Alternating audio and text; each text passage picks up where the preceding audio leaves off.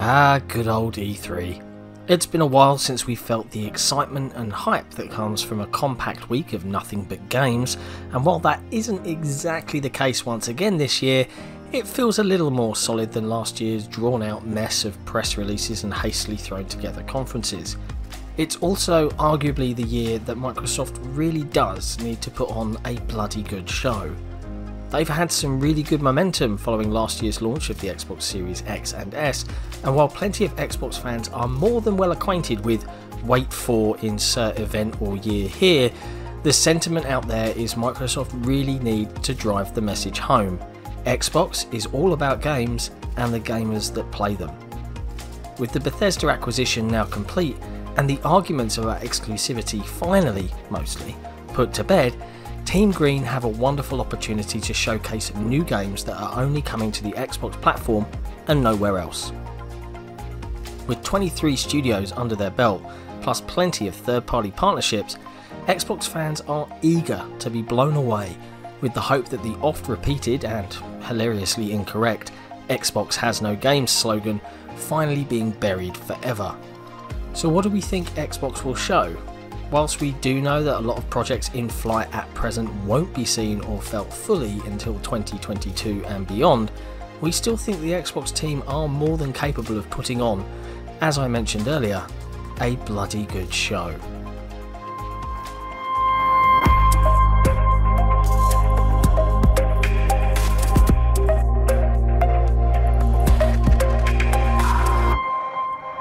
Halo Infinite Following a showing that earned 343 a somewhat mixed reception last year, this is their final chance before launch in the fall to show everything Halo Infinite has to offer.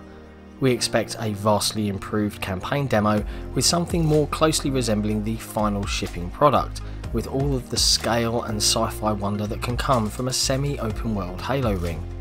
Despite the debate around the graphical quality of last year's Halo Infinite demo, the gameplay looked incredibly fun, and we can't wait to see more. Of course, it being the last big beat before launch, we also expect to get our first glimpse of Halo Infinite multiplayer with all of its new bells and whistles. With Halo going free to play, Microsoft are betting big here and we expect to see a serious deep dive into the scope of that side of the game. Perhaps it wouldn't be too far fetched to expect the announce of some sort of large scale multiplayer beta? Maybe? We hope so. Starfield. Let's get the obvious out of the way. Yes, Starfield will definitely be at the show. The game is quite the hot topic right now, and for good reason. A brand new science fiction RPG from Bethesda Game Studios, and likely one of Xbox's first true Bethesda exclusives since the acquisition. While we know it will be at E3, it's yet unclear in what capacity. For Fallout 4 and Fallout 76, Bethesda opted to go in depth, with both games releasing later that same year. Recent rumours seem to indicate that Starfield won't be releasing until sometime in 2022. Will Bethesda go in depth through a game that won't release until sometime next year? Or will they just show a gameplay trailer and have a huge blowout for next E3? There's really no way to give a definitive answer, but we are excited nonetheless to finally see more of this highly anticipated game in whatever form it comes. Forza Horizon 5 we are technically long overdue to see a brand new Forza Horizon game get its E3 reveal, and this time around we're leaving the UK behind with rumours circulating that Mexico is on the cards. It's no secret that Forza's more arcadey open world spin off is probably a little bit more popular than the more sim like motorsport series from which it spawned. Developer Playground Games has done a phenomenal job of mixing stunning, precise attention to detail with a fun and light-hearted open world full of vehicular based shenanigans.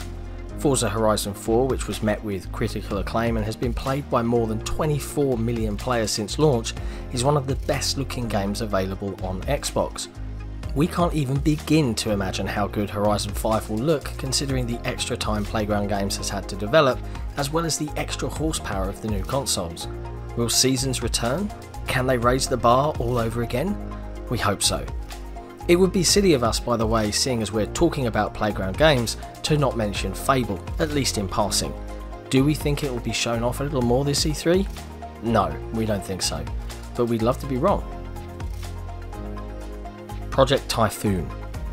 Details of this project landed on insider circles earlier this year. Rumour has it it's actually been in development for a significant period of time, and this third party developer could finally have its big moment showing just what they've been building. We've heard the words ambitious, open world, and multiplayer bandied around, so we've got high hopes for this new Xbox platform exclusive. Codename Omen. As we all know, Arcane is releasing Deathloop later this year, exclusively to the PlayStation 5.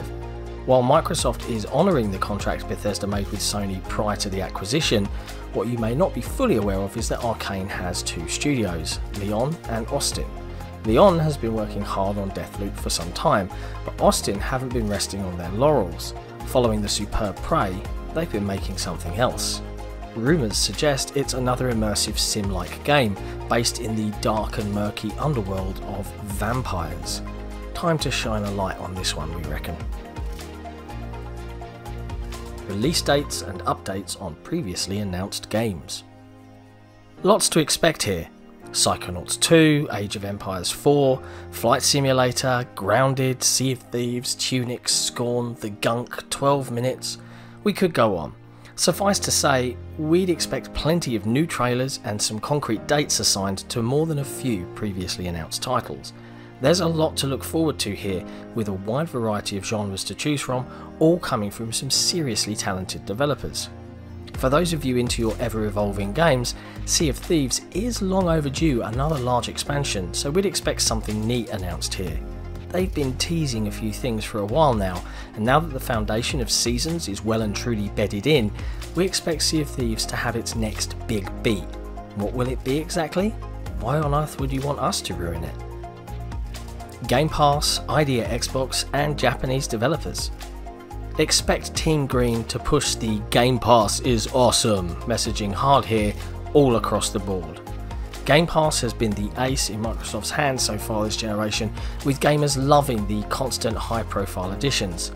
While the 23 first party studios will take a while to fully ripen and start bearing delicious gaming fruit, third party deals are there to keep things interesting. And it won't just be big AAA titles to come to your subscription, we expect another slew of amazing looking indie titles from ID at Xbox. We'd also hope to see further partnerships with Japanese and Eastern developers, perhaps with some new titles announced along the way. If you're expecting Kojima at E3, we'd throw water on that particular fire. If true, that's expected later in the year. Lots of games, big and small then, with more than a few to be announced on the E3 stage. With a focus on hardcore favourites in additions to games that have never been on Xbox before, we'd also expect more partnerships in a similar vein to what we saw when EA Play came to the service. How is Ubisoft Plus nowadays anyway? Project Dragon. This one is a lot further out, with the wonderful folks at Windows Central reporting that IO Interactive have started building a team for a new IP, rumoured to be in a full partnership with Xbox. As this is far too early to expect any gameplay whatsoever, it is possible you'll see a CG announced trailer of some sort, which serves a couple of purposes. One, it most assuredly serves to get fans excited about a new game, and two, it allows for the developer to recruit more openly. We'll have to see on this one. Something something dark side. Earlier this year, it was announced that multiple developers can now work with Lucasfilm to create video games set in the Star Wars universe, following a lengthy exclusive relationship with EA. Call it a hunch, or maybe a tremor in the force, but we've got a good feeling about this, in that we might see something Star Wars coming from the Xbox team or a partner, be it a remaster or a new game in the Star Wars universe. The force is strong with this one. Wolfenstein 3 or Indiana Jones? Who knows? This is the Xbox and Bethesda showcase after all, and we don't think Starfield will be the only game that shows up from Bethesda's end. Wolfenstein 3 has not been officially announced as actually existing, and we know Machine Games is working on an Indiana Jones title.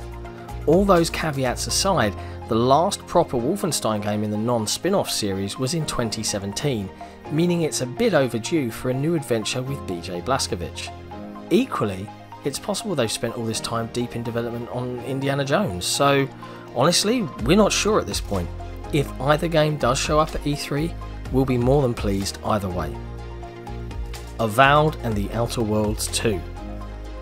If you'd have asked us a month or two ago about Avowed being at E3 2021, we probably would have said, no, it's too soon, don't be crazy, and so on.